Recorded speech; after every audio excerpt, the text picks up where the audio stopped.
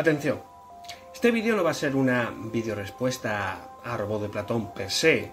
No voy a contradecir nada de lo que él dijo en el vídeo sobre si la psicología es o no es una ciencia, porque de hecho el vídeo estuvo bastante bien, como todos los de su canal, y lo que voy a hacer es añadir algunos detalles a lo que fue su exposición. Si no habéis visto el vídeo de Robot de Platón, os recomiendo que os paséis antes de empezar para poneros en contexto. Lo dejo en la tarjeta al final del vídeo y también saldrá por aquí arriba y también lo tendréis en la descripción del vídeo. Y ahora sí, comenzamos. La psicología como ciencia y diferenciada de la psicología filosófica tiene hasta fecha de nacimiento. En 1879, cuando se funda el primer laboratorio de psicología en Alemania por Wilhelm Wundt, se empieza a consolidar la psicología como disciplina científica. Aunque claro, no cualquier cosa se convierte en ciencia porque venga Periquito de los Palotes y lo diga. La psicología cumple con una epistemología propia y clara, y una metodología de investigación científica. Aunque los comienzos de la psicología como ciencia fue bastante paradigmática, o dicho de otra manera, un poco sectaria. Al principio surgieron diferentes escuelas que definieron sus propios métodos para aproximarse a sus problemas, Surge en Europa el estructuralismo, en Estados Unidos triunfó el funcionalismo, más tarde surge el conductismo, que se transforma en el conductismo radical, damos paso después, más adelante, al cognitivismo. Ay, lo siento cariño, pero es que tú surgiste desde la medicina, no desde los laboratorios de psicología. Y no, no, este gags no es para desprestigiar el psicoanálisis. Es que para comprender la auténtica importancia de esta corriente, no solo en la psicología, sino también en la filosofía y en la cultura actual, tendríamos que abrir otro apartado exclusivo para hablar de la historia del psicoanálisis. Por eso prefiero dejarlo afuera, por ahora. Pero bueno, ¿por qué dije antes eso de que la psicología era un poco sectaria? Pues porque cada escuela se erigía a sí misma como la única capaz de esclarecer los secretos del comportamiento humano. No sería hasta mediados del siglo pasado, hasta después de la Segunda Guerra Mundial, cuando empezaría a haber un movimiento perceptible para crear un paradigma global de las áreas que abarcaba. La psicología científica ha estado siempre dentro del ámbito universitario y está reconocida dentro de las ciencias sociales, aunque también está dentro de otra categoría, pero de eso ya hablaremos más adelante. Sin embargo, no por ello está exenta de problemas, y es a partir de aquí cuando comienza la parte crítica con la psicología. Podemos asumir que la psicología es una ciencia y vale, todos contentos, pero si le preguntamos a la gente qué percepción tiene sobre esta afirmación, quizá no encontremos una opinión tan generalizada. En un informe del 2014 de la Fundación Española para la Ciencia y Tecnología, indicó que solo el 57% de la población percibe la psicología como plenamente científica, dato que se corresponde también con la percepción de esta disciplina en Europa, alcanzando también un 56%. Podríamos achacarlo al desconocimiento de la gente sobre la materia, pero la verdad es que tanto la gente que sabe de ciencias como la gente que no sabe comparten la misma opinión. Esto quiere decir que aún hay un gran escepticismo por parte de la población y considera la psicología como una ciencia con todas las de la ley. Algunas conclusiones a las que se llegan en este artículo de American Psychologics son que parte de ese escepticismo es bien merecido por los psicólogos. Buena parte de las cabezas más visibles de la psicología y la psicoterapia siguen utilizando métodos poco científicos. Aparte de que la población está menos familiarizada con los auténticos logros de la psicología, en contraposición a la visión de las vergüenzas públicas por el uso de tratamientos incluso dañinos para los usuarios. Además, la cara pública de la psicología muchas veces no está representada por psicólogos, sino por personas que han presentado afirmaciones psicológicas como si fueran verdades, pero que no tienen una base científica contundente. Pero a la hora de la verdad, a la hora de esclarecer las ideas pseudocientíficas de la sociedad, los académicos se quedan fuera de la refriega, prefiriendo seguir centrándose en sus trabajos. No por egoísmo, sino porque sus trabajos dependen de sus publicaciones y de los fondos públicos que obtienen por ello.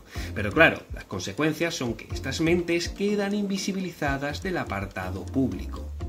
Esta es la visión que aporta este artículo en cuanto a la percepción social pero como crítica a la propia psicología y a sus métodos y a la epistemología, tenemos los debates entre el psicólogo conductista radical Skinner y el humanista Rogers, debate que a pesar del paso de los años siguen siendo relevantes. De hecho, en el último de los debates, que fue en 1962, como curiosidad, Skinner no quiso que se publicase, básicamente porque quedaba evidenciado que quería defender una psicología conductista radical, muy dogmatizada y con unos argumentos muy débiles. Algunas conclusiones de estos debates están recogidos en este trabajo de Augusto Pérez Gómez, donde a través de 19 puntos expone sus dudas sobre esta disciplina como ciencia. Y muchos de estos puntos corresponden con las mismas observaciones que hacía Rogers sobre el conductismo. Algunas de sus propuestas a destacar son que la psicología no debe de asumir ningún fenómeno psicológico a priori, el seguir definiendo con mejor claridad sus objetos de estudio y la necesidad de la psicología en seguir buscando una metodología propia para seguir abordando sus diferentes objetos de estudio de una forma más objetiva. Este artículo podéis ver en la descripción del vídeo y aunque sus objeciones se dirigen a la psicología en general, se ceba mucho con el psicoanálisis y con el conductismo. Pero volviendo a destacar los puntos anteriores, esta es siempre la gran crítica que ha recibido la psicología por su condición de ciencia. La psicología cumple con el requisito básico de toda ciencia. Confronta sus teorías con la realidad y las rechaza si la experiencia no las demuestra. Pero para buena parte de los psicólogos, esta no puede ser considerada una ciencia 100%, ya que su objeto de estudio, que es la conducta humana, no es susceptible de ser investigada por medio de un método experimental, y por eso no cumple con una de las principales condiciones de cualquier ciencia. Y aquí es donde encontramos otro de los puntos críticos en la discusión, lo referente a su metodología y a la complejidad de su método de estudio. La psicología utiliza básicamente el método hipotético deductivo, como cualquier otra ciencia. Sin embargo, resulta que los métodos cuantitativos son insuficientes para explicar ciertos objetos de estudio dentro de la psicología. No todos, pero sí algunos. Aquí es donde surgen los métodos cualitativos, que pueden resultar incluso mucho más complejos de comprender. Métodos como son la recogida de entrevistas, grupo de discusión, casos clínicos, etc. La psicología sigue siendo una ciencia joven, que sigue estando abierta a la discusión y que a pesar de sus aportes tiene que seguir explorando sus propios límites. Es cierto que no puede ser precisa ni exacta como otras ciencias, aún, debido a la complejidad de los factores que intervienen en la conducta, pero los psicólogos, como todos los científicos, siguen realizando sus observaciones, formulan hipótesis, elaboran teorías y modifican o perfeccionan esas teorías a la luz de nuevas observaciones. Es como el ejemplo que exponía Aldo en su vídeo. Él hablaba que la psicología podría definir y medir la felicidad, por ejemplo, yo qué sé, teniendo en cuenta las veces que una persona sonreía al día. Por supuesto, esto no es así, pero con esto lo que quería era ejemplificar de modo figurativo cómo se podrían llevar términos tan abstractos como podría ser la propia felicidad a ser medibles a nivel cuantitativo y por lo tanto acercar el término a una definición teórica como ha pasado por ejemplo con todos los procesos básicos de la psicología.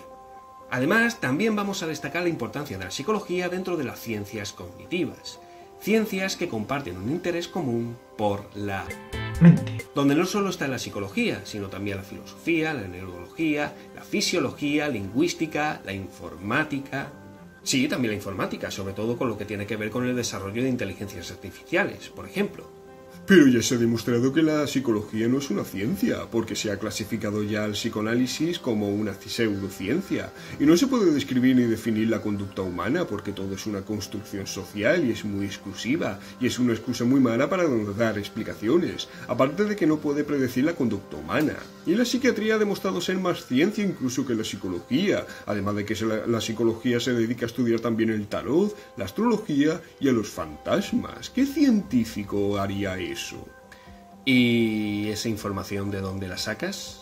Eso lo digo yo, porque con dos libros y medio de ciencia que me he leído ya sé más que cualquier otro científico de la universidad. Y además tengo el mayor referente científico del mundo, el doctor Sheldon Cooper. Vale, sobre comentarios en internet de cientifistas que pretenden ser más científicos que Newton, podemos estar horas hablando. Pero si queréis podemos dejar este tema para un siguiente vídeo. Pero para ello tenemos que llegar a 15.000 likes en este en menos de una semana. Así que ha llegado la hora de que compartáis como lunáticos. Y antes de terminar, un saludo a Aldo del canal de Robot de Platón y a la organización Chile Escucha, que fueron los que me invitaron improvisadamente a que realizara este tema. Gracias por vuestra atención y nos veremos prontito en el siguiente tema.